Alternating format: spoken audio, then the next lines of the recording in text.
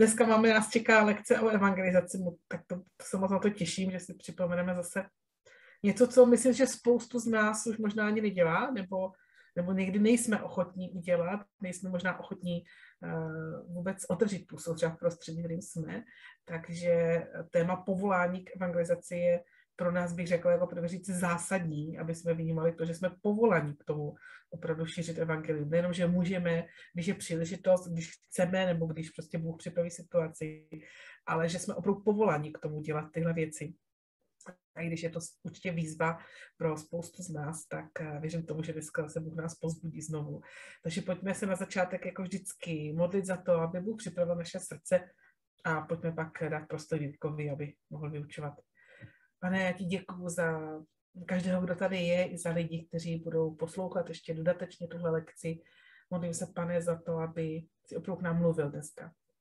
Aby jsme, pane, dostali znovu možná takový oheň do našeho srdce, k tomu mluvit o tobě, pane, šířit tvé evangelium, aby jsme viděli tu důležitost, aby jsme viděli nutnost a viděli povolání, které máme, které je na životě každého z nás, ať už jsme kdekoliv a kdokoliv, pane. Já se modlím za to, aby znova tenhle oheň možná začal hořet v našem srdci, nebo pokud jsme to nikdy takhle nezažili, tak aby si zažehl tuhle jiskru v našem životě, aby jsme dokázali se postavit, dokázali se přiznat, pane, k tobě a dokázali jsme mluvit o tobě s ostatními. Jsme dokázali šířit to, co ty si dal do našich životů, pane. Prosím tě, dneska mluv k nám, připrav naše srdce, otevři uši našeho vnitřního člověka, aby jsme poznali plnou šíři tvé pravdy, pane, tvoji lásky pro lidi kolem nás. Amen. Tak poprosím teda Jirku. Tak já se tak ještě vítám. Já jsem rád, že se nám podařilo to téma prohodit, protože uh, téma, které máme dneska otevřít, je povolání k evangelizaci. A musím říct, že jsem se na to téma těšil. Uh, sám přemýšlím, jestli jsem nebo nejsem evangelistou. Já se tomu trochu bráním. Na druhou stranu mi to téma vždycky vede k nadšení a asi mě pán Bůh nějaké věci dal, abych uh, evangelium sdílel. Uh, takže já vám prosím prezentaci. Uh, vám, že ji uvidíte. A, takže téma, které máme dneska otevřít, se jmenuje povolání k evangelizaci. A máme teďka ve sboru takový, takovou sérii kde se snažíme mluvit o slyšení Božího hlasu. A já bych byl nadšen, eh, kdybychom mohli využít i tu dnešní lekci, ani ne tak eh, k vyučování, ale spíš k tomu, že budeme se Pána Boha ptát, jestli k nám nechce nějak mluvit. A, a eh, takže já se ještě s dovolením jednou pomodlím, i když se modlila už uh, Katka, ale přesto bych se chtěl modlit, aby nám Pán Bůh otevřel srdce a jestli máš něco slyšet ohledně evangelizace, já tam potom dám i nějakou výzvu, to by bylo moc rád, abychom reagovali ne na to, co já říkám, ale co pán Bůh tobě bude mluvit. Pane, ti děkuji za to, že se nás povolal, abychom nesli evangelium. Eh, věřím tomu, že každý jeden z nás má být nějakým způsobem zapojení do tohoto díla. A tě, pane, prosím, ať k nám mluvíš, ať eh, i ti, kteří možná to poslouchají offline, no, mohou uslyšet tvůj hlas, povolání, tvé nasměřování Nechceme, pane, se jenom učit, ale chceme být eh, těmi, kteří slyší a mají ty nohy připravené k tomu, aby vyšli. Prosíme tě o to moc. Amen. Tak. Eh, my jsme se trochu rozhodli tady eh, při tomhle běhu Ebedu, že budeme dělat takové skupinky, je nás tady si myslím sedm nebo osm, nevím, tak poprosím, kdyby nás mohl rozhodit na pět minut Joel, a kdyby jsem, kdybychom si odpověděli, eh, co nás první napadne, když uslyšíme slovo evangelizace. Jestli vás nic nenapadne, tak eh, to můžeme rozšířit, co, eh, jak reaguješ, když uslyšíš slovo evangelizace v církvi ze strany třeba kazatelný. Takže co vás napadne, když se otevře to slovo evangelizace? Tak poprosím o rozdělení do skupinek. Já vás tady vítám zpátky, takže já jsem tady to téma nebo tu otázku dal schválně, protože častokrát uh, uh, jsem slyšel takový ten názor, uh, že evangelizace je něco, co lidi nemají rádi, a zvlášť, když je to spojený s evangelizací veřejnou, masovou, s akcí, kde zveme lidi, aby oni uvěřili. Já vás jenom chci potěšit, že si myslím, že ne každá evangelizace musí být tímhle směrem. A pak si myslím, že většinou se šíří evangelium spíš face to face od jednoho člověka k druhému. Mně se hodně líbilo, když jsem eh, slyšel názor, který jste už taky slyšeli, že ne každý je povolán, aby byl evangelista, ale aby byl zapojen do evangelizace. A možná taková ta první úroveň je, že jsem povolání ne pro to, abychom byli evangelisté, ale abychom byli svědky. A rozdíl mezi svědkem a evangelistou je strašně krásný v tom, že evangelista uh, opravdu jakoby, má takové zvláštní pomazání pro kázání evangelia, ale svědek jenom svědčí o tom, co zažil. Je strašně zajímavé, že v prvním století, když budete trochu studovat eh, písmo a jako historii, tak prakticky ta evangelizace, která tam byla, ani tak nebyla o tom, že by eh, lidi přesvědčovali druhé, aby přijali Krista, nebo aby rozpoznali, že jsou hříšní, nebo aby se s nima hádali, jestli je správně křesťanství nebo židovství. Ale ten hlavní úkol v té době prvního století bylo prostě svědčit o Kristu. Byl tady Kristus, který byl mesiáš, který za eh, lidi zemřel a vy ho můžete prostě následovat. Takže oni opravdu se nehádali s lidma, ale jenom přinášeli to svědectví. A svědek je uh, člověk, který je vyzýván někým, aby vydal svědectví. To znamená, že svědek nemusí přicházet na soud a prostě rozhazovat dveře a chtít tam prostě přijít a mluvit, ale je to člověk, který je dotázán. A mi se to strašně líbí a chci vás tom uvolnit. Jestli neprožíváš nějaké zvláštní povolání pro evangelizaci, nemusíš být z toho strápený, stačí, když budeš svědek. A svědek je člověk, když se vás někdo něco zeptá, tak vy podáte svědectví, vaši zkušenost s Bohem. A nebo proč věříte, anebo prostě, co to je evangelium. Tam si myslím, že je důležité, aby svědek eh, to nějakým způsobem uměl sformulovat, ale nemusí vytvářet to prostředí, nemusí jít na ulici a, a bavit se s lidma, protože ne každý má tady to povolání. Pokud bych mluvil o tom povolání, tak bych mluvil možná o třech úrovních, a to je svědek, eh, někdo, kdo je součástí týmu evangeličního, anebo takový příležitostní evangelista, a, anebo opravdu evangelista. A kdybych mluvil o tom uh, příležitostním evangelistovi, tak to je pro mě někdo, kdo opravdu sem tam někdy otvírá příležitost, že se ho lidi víc ptají, nebo že k němu lidi přicházejí a vidí na jeho životě něco a zeptají se ho, nebo prostě vytváří příležitost. Uh, třeba já si myslím, že bych tady možná se viděl, uh, tím, že řeknu, že jsem pastor, tak se většinou lidí ptá, a co to znamená. A vlastně okamžitě můžu mluvit eh, o vztahu s Bohem, o tom, proč jsem pastor, o tom, jak jsem uvěřil a dávat to lidem takový, takovou tu nahozenou návnadu, abych uh, mohl uh, sdílet evangelium. Evangelista je člověk, který je, má pomazání. Už to není člověk jenom, který uh, chodí do církve, ale je to člověk s darem. Já často mluvím o jedné sestře, která byla na jedné naší akci a ona opravdu kamkoliv přišla, tak přinášela evangelium, tu radostnou zprávu, přinášela křesťanství i lidem, kteří byli úplně nepřístupní a kterých se další lidi báli, ale ona prostě přišla, usmála se a prostě měla takový zvláštní, možná by to někdo řekl jako auru prostě, uh, takové to okolí kolem ní, prostě se usmívalo a lidi otvírali uši. A já si myslím, že evangelista, opravdu s pomazáním evangelisty někdo, kdo má takový zvláštní uh, obdarování od Pána Boha, přicházet k lidem, vytvářet příležitosti a prostě to evangelium, tu dobrou zprávu zvěstovat. V Efeských uh, 4.11 máme vlastně pět darů, uh, které Pán Bůh dává církvi ohledně takových poslání.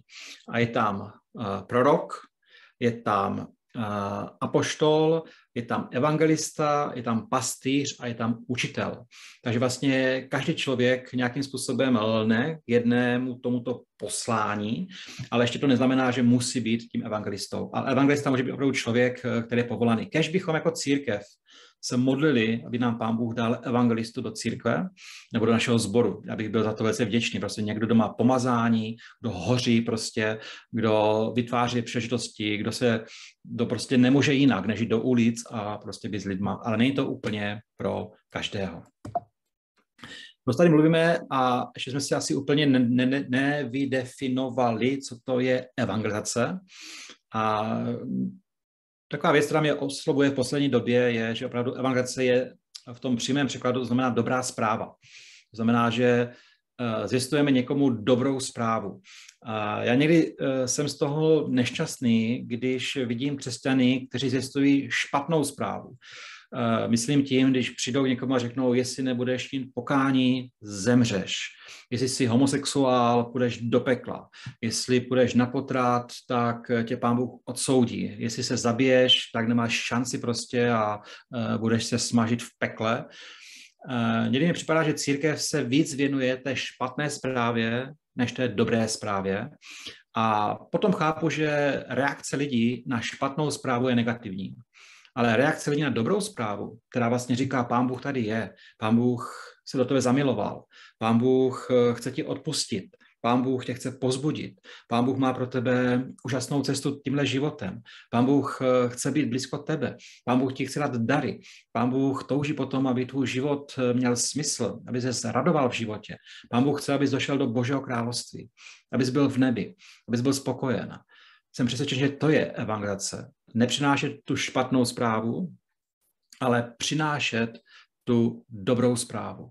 Že tady je Bůh, který miluje člověka, takže posílá za něho svého syna, aby zemřel za jeho hříchy, aby ten člověk se mohl radovat na věky s Bohem v nebi.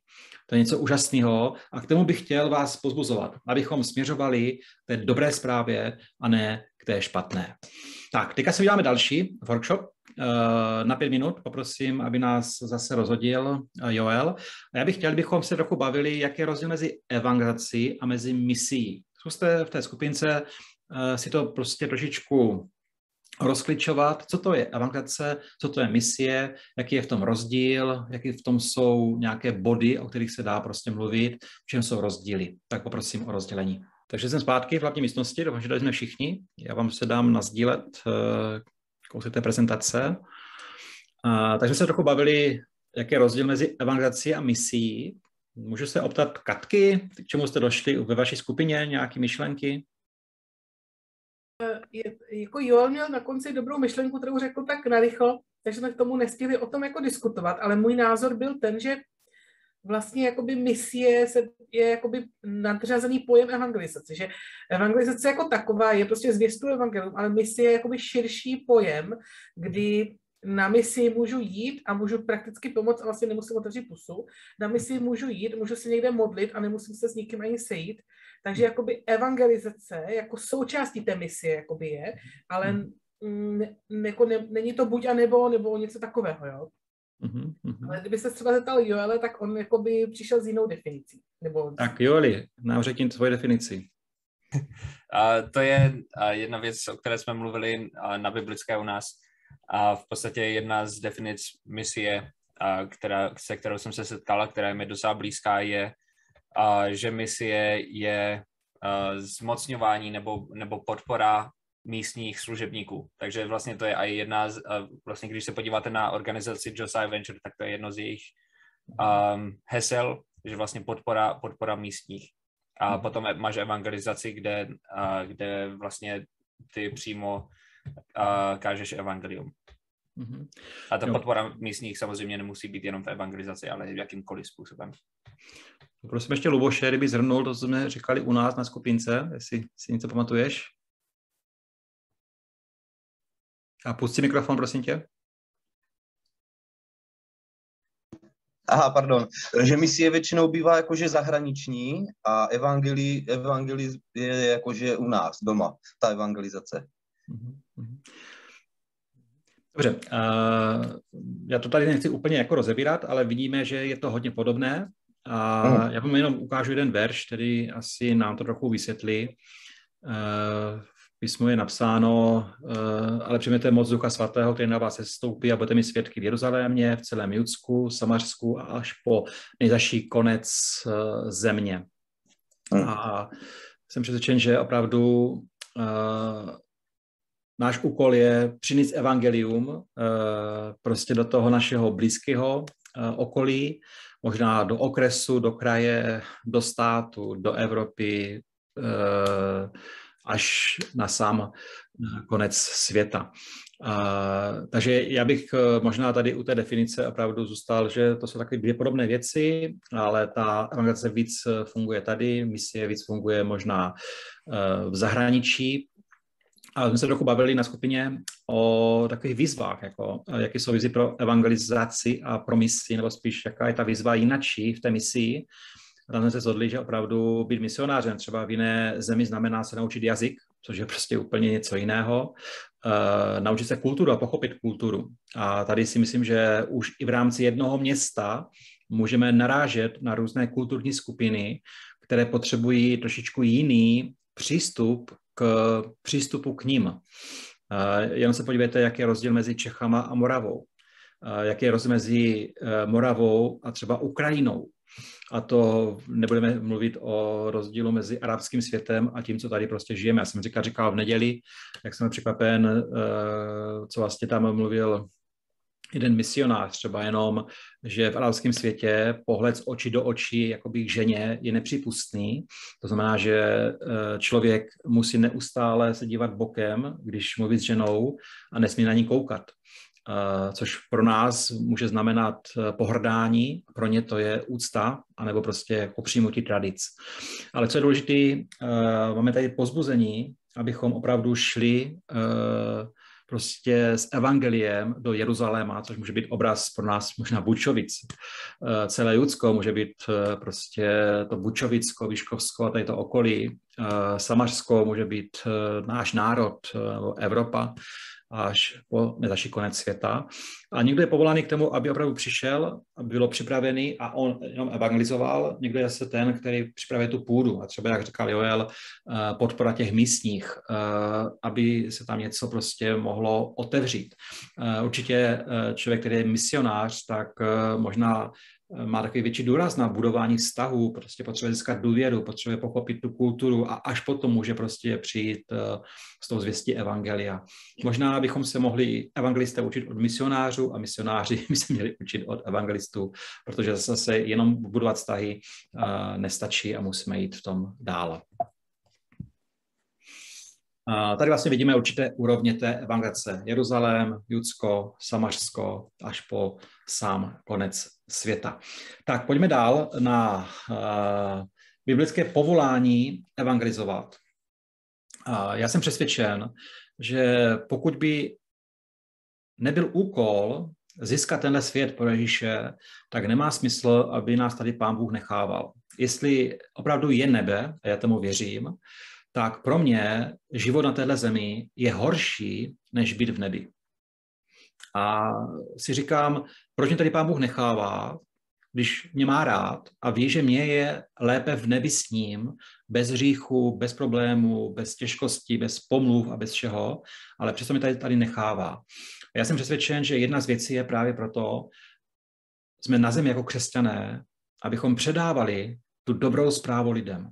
A osobně si myslím, že není prakticky nic důležitějšího na téhle eh, zemi, než sdílet to evangelium. Určitě se máme starat o své děti, máme budovat manželství, ale pořád si myslím, že nad tím někde je uh, to povolání prostě šířit evangelium a zvěstovat Krista všude tam, kde můžeme, kde nás Pán Bůh prostě povolal. Uh, já jsem četl dneska, možná jste četli spolu se mnou kteří čtete Bibli spolu s námi. Marek 3.14, mě to hodně oslovilo. Pán Bůh ustanovil 12 apoštolů, nebo jich ustanovil jich 12, aby byli s ním, aby je posílal hlasat evangelium a aby měli pravomoc vyhánět démony. A zkusme o tom dneska přemýšlet a možná se vás pán Bůh bude dotýkat, ale pán Bůh tady říká tři klíčové věci, proč vlastně eh, nás tady nechává na téhle zemi. Abychom byli s ním. Eh, to jsem možná neřekl z úvodu a ten verš to jasně říká, že pán Bůh nás tady nechává, abychom byli s ním. Dej si otázku, jak vypadá tvůj život. Opravdu pán Bůh má s tebou obecenství, má radost z toho, když se modlíš, má radost z toho, když jsi s ním, protože je to jedna z důležitých věcí, proč nás tady pán Bůh nechává na téhle zemi. Abychom hlásali evangelium. Nebo jiné příklady říkají, že nás poslal kázat.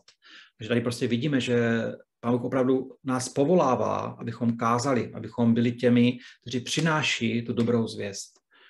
A zajímavé, aby měli pravomoc vyhánět démony. A o tom se až tak moc nemluví v církvi.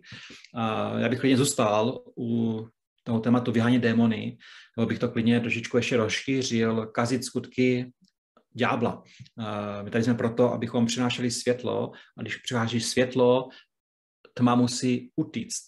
Kež by život tvůj i můj přinášel světlo takové, které vyhání temnotu. Ať už je to otázka nemoci, ať je to otázka svázanosti, ať je to otázka nesvobody. To jsou prostě věci, ke nás Pán Bůh tebe i mě volá. A to patří do té evangelizace. Být s ním, přinášet tu dobrou zprávu, kázat, mluvit o tom, svítit, ale tež přinášet ten pokoj, prostě ten efekt Božího království do eh, životu druhých lidí. A to je možná symbolizované tím vymítáním démonů. Mně se moc líbí, já jsem teďka přeskočil, jo, jdeme dál, a pojďme se podívat na úkol evangelisty. A, takže vlastně kdo to vlastně je evangelista? Tady přečtu ten eh, verš efeský. On dal jedny apoštoly, ne proroky, některé evangelisty, ne pastýře a učitele. A teďka poslouchejte. Proč? Aby připravili svaté k dílu služby, vybudování těla Kristova, dokud nedospějeme všichni genotě víry a plného poznání Syna Božího, dospělého muže v míru postavy Kristovy plnosti. Takže pán Bůh povolává apoštoly, proroky, evangelisty, pastýře, učitelé, ne aby evangelizovali, ne aby vyučovali, ne aby dávali dohromady církev, ale aby připravili svaté k dílu služby, k vybudování těla Kristova, dokud nedospějeme všichni k jednotě víry a k plnému poznání Syna Božího, dospělého muže v míru postavy Kristovy plnosti. A já tady chci jenom ukázat takový ten boží pohled prostě na církev. Že tady není, eh, on je evangelista, on je chválič, on se stará prostě besice, ale pán Bůh má o hodně větší obraz o církvi a vůbec o fungování církve v tomto světě. A mně se asi nejvíc líbí uh, obraz, který uh, popsal pastor Mark Kelsl, nebo jak se to čte, a on uh, mluvil o osmi základních úrovních služby lidem. Uh, on tam ještě takhle dal taky důraz, že prostě někdy prostě my lidi omezujeme, ale my bychom měli lidi spíš pozvedat, zmocňovat, uh, nacházet jejich místo v církvi. Takže evangelista není on ten, který říká evangelium, ale prostě je to součást uh, toho velkého poslání, to součást uh, budování církve. A evangelista nesmí skončit jenom u tom, že on řekne evangelium a jde pryč. Ale prostě měl by mít ten podíl na tom vybudování těla Kristova. Já vám ten obrázek ukážu, o kterém jsem mluvil od toho uh, Marka Kelseje a mi se tady to strašně líbí, že tady vlastně mluví o osmi nějakých úrovních. Já to teďka nebudu úplně vyučovat, ale jenom chci, abyste, abyste o tom přemýšleli, že vlastně jedna úroveň je, prostě jsou lidi ve světě a někdo prostě je úplně na okraji uh, toho, uh, té výseče, někdo je zase hodně blízko k tomu středu nebo k tomu božímu království. Ale úkol církve, a znovu říkám, úkol církve, ne úkol evangelisty, je nějakým způsobem posunout lidi z toho bodu, já nevím, uh, jestli se tady dá použít to, Uh, jak tady použiju ukazovátko tady? Vidíte ukazovátko? Nevidíte. No, to jsem udělal špatně. Ale vidíme tvůj myš, vidíme tvůj kurzor. Ale já jsem chtěl použít ukazovátko. Ukazovátko, kde ho najdu? Anotace, to asi ne. Remote control. Však to tam měl, ten kurzorek. Já, já už. Takhle, jo? Teď ho vidíte. Jo, jo. Tak si jsme představit, že někdo prostě se nachází tady, někde jde ten kurzor. A náš úkol jako církve, to znamená apoštolů, evangelistů, misionářů, uh, uh, uh, proroků, je prostě pracovat na tom, aby člověk z tohohle místa se dostal třeba senka. ideální je, aby eh, došel až do, toho, do té jiné věciče, která se nazývá Boží království.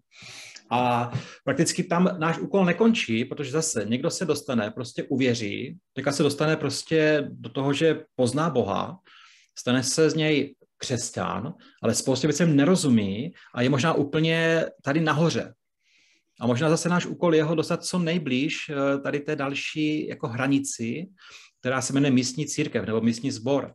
Já si myslím, že dneska to zažíváme eh, v církvi, že lidi se dostali eh, prostě trochu bokem místního sboru a vlastně se naučili žít jakoby jinak bez církve a vlastně mnozí jakoby přestali fungovat jako z církví. Ale boží obraz je prostě dostat lidi z toho světa do božího království z Božího království je dostat do místní církve, aby byli součástí právě toho povolání celého, eh, které pán Bůh chce, abychom šli do celého světa a získávali evangelium. Ale to není cíl, aby byli v církvi, ale další cíl je, aby začali sloužit skrze ochotnou službu. Eh, dneska, nebo včera za mnou přišel Luboš a Tomáš Papež, protože děláme ten Fight Club, a tam je jeden úkol, že oni eh, mají dobrovolnicky se zapojit do místní církve. Tak přišli oba dva za mnou a říkali mi jako pastorovi, Jirko, co můžeme dobrovolnicky udělat pro církev? Já jsem říkal, wow, to je skvělé. Kež by byli všechny i ženy a všichni muži ve Fight Clubu a takhle uvažovali vlastně, že uh, můžeme spolupracovat společně na tom, aby se církev někam posunula. A prakticky pro každého člověka je místo v církvi. Ale zase náš úkol není jenom toho člověka získat, aby začal sloužit ochotnou službou, ale náš úkol a úkol církve je, aby člověk našel svoje dary, a zvlášť takové ty dary duchovní, a aby začal sloužit skrze ty dary duchovní. A tady jsme možná u toho slova evangelista. Že vlastně tady můžeme rozpoznat u člověka, že on má opravdu dar budovat kontakty, nebo má dar se učit jazyky a může být misionář, nebo má dar uh, vyučovat a může být učitel, nebo má dar uh, prostě lidi spojovat a může být apoštol nebo zakládat nový sbory. Ale vlastně náš cíl zase není jenom, aby sloužil uh, v těch darech, ale aby ty dary se uvolnily skrze něho.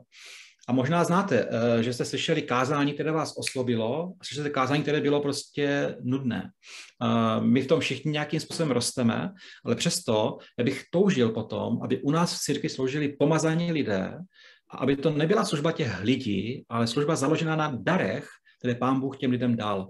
Eh, kdybyste potom to vyučování studovali dál, tak pak tam vlastně ještě je, že se z těch lidí mohou stát vedoucí, mohou se s nich stát eh, ti, kteří spolupracují na nějaké vizi a mohou tam být lidé, kteří opravdu tu vizi eh, přinášejí. Ale jenom vás chci pozbudit. Dívejme se na církev jako na ten větší boží obraz, než jenom tady evangelista. Tady jsem já, tady je to. Prostě jde o tu spolupráci a ten cíl je najít v lidech obdarování, uvolnit ho, aby lidi sloužili skrze to zmocnění, nebo někdy tomu říkáme pomazání. A možná trošičku mě rozumíte, že třeba u toho evangelisty, že jsou lidé, kteří se snaží ze lidských sil evangelizovat a dělají spoustu neplechy pro církev a dělají problémy. A pak jsou lidi, kteří skoro nic nedělají a lidi chodí za nima a ptají se jich a prostě je to nějaké zvláštní, jako by nad nima bylo boží požehnání, pomazání a pan Bůh si je používá. A to je cíl. To je cíl i pro tebe. Nemusíš být evangelistou, ale buď tím, který skrze ochotnou službu rozpozná, jaké je jeho obdarování, možná ve spolupráci s vedoucíma, a začne sloužit skrze dary. A vemte si evangelistu, který je pomazaný. To je prostě radost vidět člověka, který má to pomazání a na něho se lepí lidi nevěřící. Kež by jsme takový lidi měli. A možná nikdo z vás to být nemusí. Ale pojďme se modlit, ať Pán Bůh takovéhle lidi nám přidá. Pár takových lidí znám. Tak, pojďme dál. Uh, co všechno musí lidi slyšet, když uh, sdělíme evangelium? Co všechno musí lidé slyšet, uh, když bychom chtěli, aby jsme naplnili to slovo sdělit evangelium? Zkuste na mě něco vykřiknout.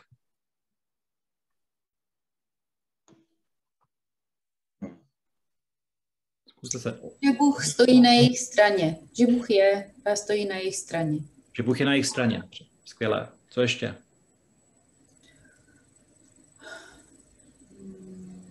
Že můžou mít ten život v lepší kvalitě, nebo lepší život můžou Mhm, žít. mhm, mhm. Že můžou navázat vztah s Bohem. Že mohu mít vztah s Bohem. Mhm. Já třeba častokrát, když mám přednášky, tak říkám, že jsem uvěřil, protože jsem se, se s Bohem setkal a to prostě lidi strašně zvedne ze židle, jako jak jsem se mohl setkat s Bohem. A pak jim to popisuju.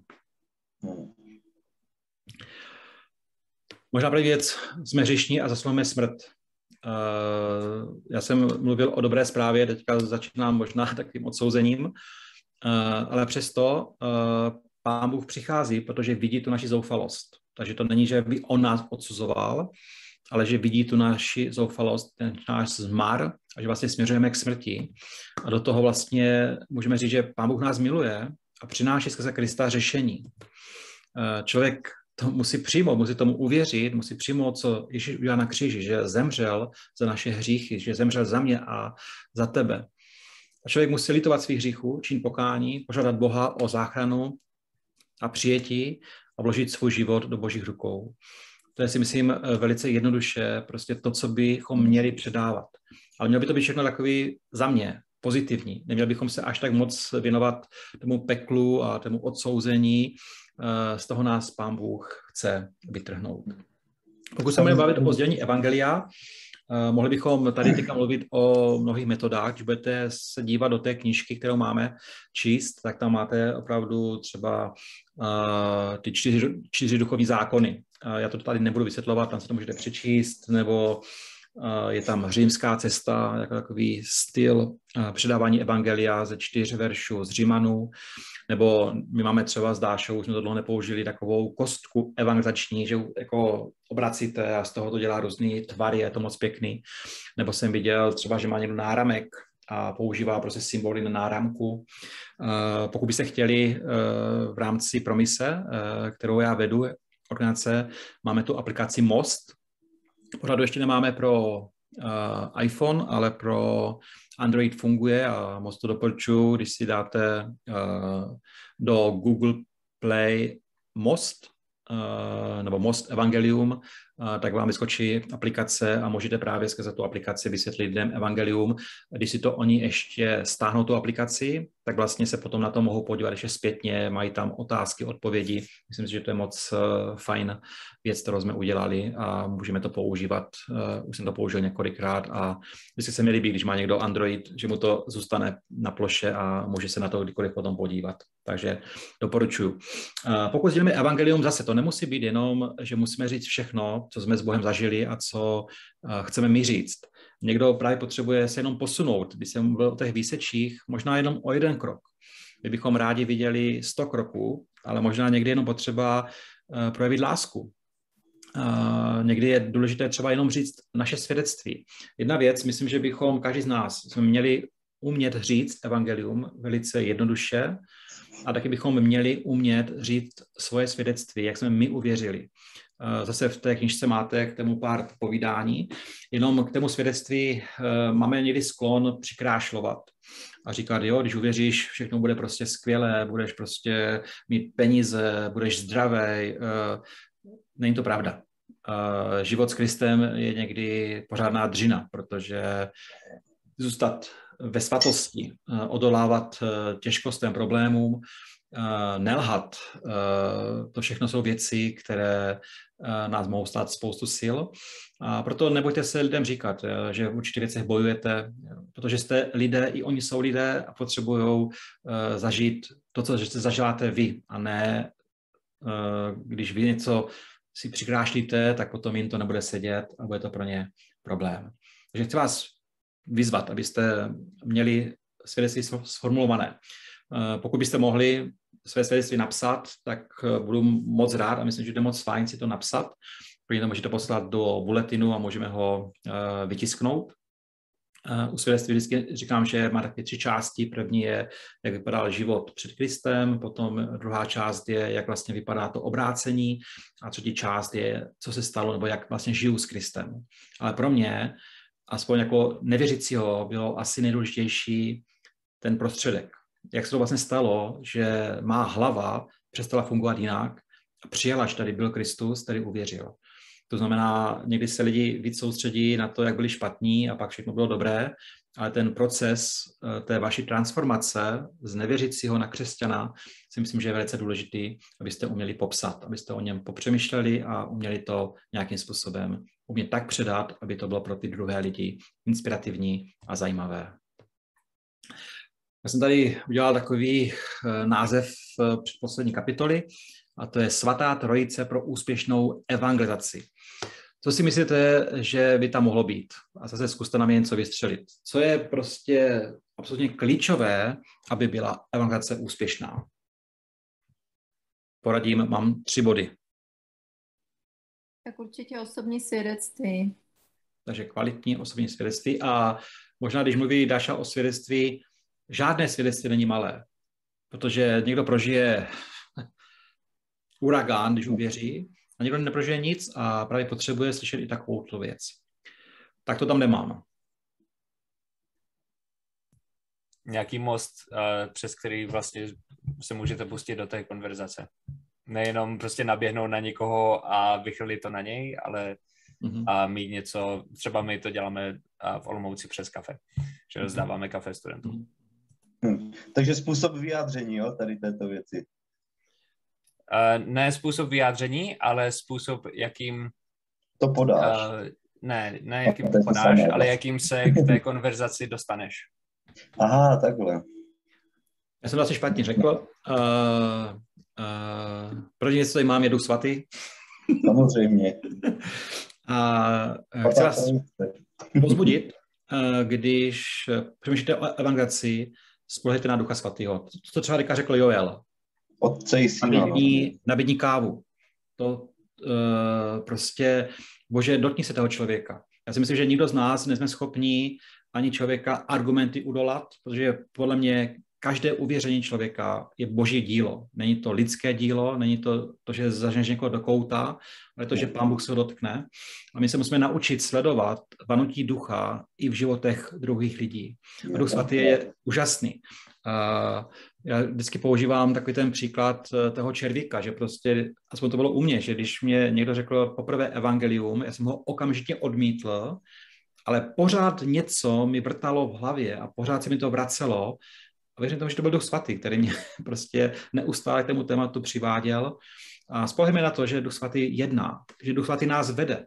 Možná nemluvíme s každým člověkem, ale dějeme tam, kde Pán Bůh nás chce víc, nebo když má Pán Bůh někoho připraveného, tak abychom s ním mluvili.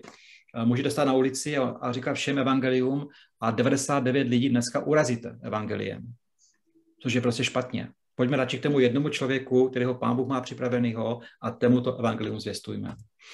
Modlitba. Řekl bych, řekl bych otevřené oči mm-hmm. a uši. Mm-hmm. Jo, a, ale kolem sebe. Hledejme, co Pán Bůh eh, opravdu od nás chce a věřím tomu, že úspěšná evangelizace není náš plán, naše strategie, ale je boží plán a boží strategie na základě toho, že se necháme výst Duchem Svatým a taky se modlíme. My třeba v rámci promise, když děláme jakýkoliv kurz, nebo třeba když se dělá i ten My Life Workshop, tak tam je podmínka prostě mít tým lidí, kteří se modlí.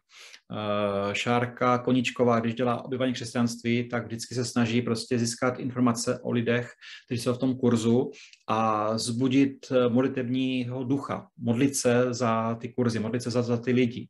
A chci vás pozbudit, abychom se modlili. A třetí věc, Bible. Věřím tomu, že evangelizace bez Bible je taková prázdná můžeme prostě mít říkat nějaké věci.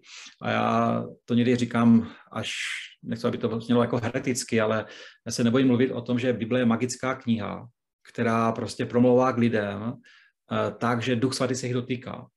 A je úplně úžasné, když člověk otevře Bibli a teďka skrze Bibli k němu začne Bůh mluvit. Nevím, jak jste to měli vy, ale pro mě setkání s Biblií to prostě byla bomba já jsem najednou četl a to mluvilo do mého života a já jsem nechápal, kdo to tam napsal, protože to bylo úplně přesně v tu chvíli, co jsem potřeboval číst. A pokud někdo uvěří a vlastně se nesetká potom s modlitbou, nesetká se s Biblií, tak je to takové, takové prázdné. Nebojíme se používat Bibli, nebojíme se citovat Bibli. Uh, možná můžeme mít svědectví, které je naše osobní a ten člověk ho možná nepřijme a je pro něho vzdálené. Uh, ale Bible je něco, uh, co je stále, můžeme říct, ale já tomu všemu třeba nerozumím, ale Bible říká, že Pán Bůh tě má rád. A ukážeme ten verš, kde je nebo třeba dáme Jan 3.16, ukážeme prostě, jo, pán Bůh tak miloval člověka, tebe i mě, že poslal svého syna, abychom měli věčný život. Já tomu nerozumím, ale já to prožívám a je to i pro tebe. A prostě mu to zanecháme, nebo prostě mu ten verš ukážeme, nebo ho vytiskneme. A já jsem přesvědčen, že pán Bůh, eh, boží slovo, které je vyřčeno, právě uh, jakoby pomazává takovým tím červikem, že to oživuje svým duchem svatým a ti lidi potom na to reagují. Možná věřme víc, že Boží slovo má moc v sobě oslovit lidi. I když tomu nemusel rozumět, přesto Boží slovo je něco, co Pán Bůh pomazal svým duchem svatým, aby k lidem mluvilo. Tak, jak mluví k věřícím, může a mělo by a mluví i k nevěřícím lidem. Tak, jsme v závěru a já bych vás chtěl teďka vyzvat, kdybychom se mohli chvíličku ještě modlit. A protože jsem přesvědčen, že už jenom to, že jste tady na tady tom kurzu, je něco, že máte touhu hledat Pána Boha. Jestli tady jste jenom proto, abyste měli nějaké informace, tak eh, možná nebudete úplně spokojení, ale pokud tady jste proto, že se chcete někam posunout a chcete být blíž Pánu Bohu, chcete slyšet jeho hlas, chcete zažívat, eh, že se vás používá, chcete možná z té služby jenom být v církvi, dojít do té ochotné služby, a možná ještě do té zmocněné skrze, ducha, skrze dary ducha, tak eh, potřebujeme se modlit a potřebujeme možná udělat určité rozhodnutí. Já bych chtěl, a chtěl bych, abyste to vyzkoušeli. Kdybychom se teďka mohli pomodlit za konkrétní věc, že bychom se teďka modlili, aby Duch Svatý tobě i mně ukázal uh, dva až tři lidi uh, v našem okolí, kteří nám jsou dostupní, nebo jsou aspoň tak nějak na první dobrou dostupní, jo. Uh, já to vysvětlím potom, co tím myslím. Prostě, že se s nima reálně můžeme setkat. A já bych chtěl, kdybychom se teďka modlili, aby nám Pán Bůh ukázal možná jednoho, jednoho až tři lidi, kteří jsou v našem okolí, jsou nám dostupní a je reálné, abychom se s nimi setkali. Kdybychom se mohli za ně modlit a modlit se i potom za to, že aby pán Bůh nám dal možnost během týdne se s těmi lidmi setkat a aby nám dal pán Bůh možnost, až se to stane, s nima sdělit evangelium, nebo aspoň část nějakého svého svědectví. Nemusí to být svědectví o uvěření, ale čistě prostě jenom, že jsme se setkali s Bohem a abychom zafungovali jako svědci v tom, že o tom budeme svědčit, že v našem životě je živý Bůh. Takže já bych chtěl, kdybychom se mohli chvilku modlit. Já se pomodlím za vás. Nebudu to kontrolovat, jestli si ty lidi napíšete nebo nenapíšete, ale já jsem přesvědčen, že pokud se modlíte, pokud se rozhodnete vložit do božích rukou, pokud přijmete ten boží obraz být součástí uh, toho nesení evangelia, nebo té, toho božího srdce pro lidi, kteří jsou nevěřící, dáte se rukou do uh, Pánu Bohu, budete očekávat, Eh, že se s těma lidma setkáte, budete očekávat, že Pán Bůh vám nějaké lidi teďka prostě dá na mysl a vy budete zůstávat ten týden v očekávání, tak já jsem přesvědčen, že s těma, s těma lidma setkáte. A když se s těma setkáte, tak vás chci pozbudit, abyste to vzali jako boží plán, že právě Pán Bůh chce, abyste s nimi mluvili. Když ty lidi nepotkáte, tak máte úplnou svobodu to prostě vyhodit a, a dál o tom nepřemýšlet. Ale pokud se s nimi setkáte, tak vás chci pozbudit, abyste to využili jako příležitost, kterou vám Pán Bůh připravil. Kdyby je napsáno, že Pán Bůh připravil dobré skutky těm, kteří ho očekávají. A já jsem přesvědčen, že Pán Bůh opravdu chystá a, i ty setkání pro tebe i pro mě s lidma v našem okolí. Nemusíš být evangelistou, nemusíš být misionářem, můžeš být jenom svědkem. Dokonce můžeš modlit, bože, já mám strach, ať mě oni osloví jako první. A musím vám říct, že se mi to už mnohokrát stalo, že mě pán Bůh tak zahambil, že já jsem neměl sílu se odvážit o, tom, eh, o pánu Bohu mluvit a ti lidi se mě prostě zeptali. Takže pojďme se teďka chvilku sklonit. Já se chci modlit a jestli můžete tu modlitbu potom přijmout, nemusíte ani nahlas říct uh, amen, ale já bych chtěl, abychom byli praktičtí. Když se bavíme o evangelizaci, tak abychom byli zapojeni nějakým způsobem do evangelizace. Pane, děkujeme za to, že jsi nám dal tady tuhle lekci a že můžeme přemýšlet o tom tvým obrazu, o církvi a proč tady církev zůstává. Tě chválím, pane, že ty povoláváš každého člověka, aby byl součástí toho budování církve, aby byl součástí uh, toho, že se zvěstuje evangelium v moci a slávě. Ať už skrze naše ústa, nebo skrze náš život, nebo skrze to, že se nás lidi ptají. Pane, my chceme být součástí tady tohoto, nechceme si hrát na svým písečku, nechceme budovat církev, která bude jenom dělat uh, chvály pro sebe, pane, chceme být opravdu nástrojem ve tvých rukou proto, abychom rozšířili tu známost o tobě do celého okolí, do Jeruzaléma, do Judska, do Samaří, až do všech končin země. Pane, toužím, aby i náš sbor byl sbor, který opravdu nese evangelium, který rozpoznává i ty obdarování v duchu svatém, který vidí to pomazání na lidech a prostě vysílá a zmocňuje. Pane, já se modlím za sebe, ale i za každého, kdo tady to poslouchá. Pane, toužím, aby ten týden, který je přede mnou, aby se ukázal dva, tři lidi, kteří jsou ve tvém plánu proto, aby jsem s nimi setkal, aby s nimi o tobě mluvil, abych jim ukázal na tebe, nebo abych je možná jenom oslovil, možná pozval do církve. Pane, nech, ať nás vede tvůj duch svatý. A použij si nás, pane. Tady jsme, eh, stojíme, pane, nebo sedíme a prosíme tě o to, abychom byli tvární ve tvých rukou. Modlím se, pane, aby si nám ukázal ty dva, tři lidi, které máš ty na srdci a které chceme i my přijmout do naše srdce a chceme jim sloužit, chceme jim ukázat na tebe. Modlím se, pane, abychom zůstali v tom očekávání a abychom dokázali k tím přicházet. A dej nám milost, pane, abychom byli připraveni jim říct evangelium, abychom byli připraveni jim říct svědectví. Prosím tě o to moc. Amen. Tak, to je moje poselství dneska. Předávám Katce. Děkujeme. Věřím tomu, že to bylo tak, jak jsem na začátku očekávala, že to bylo jasné, srozumitelné, ale zároveň velice jako vyzývající.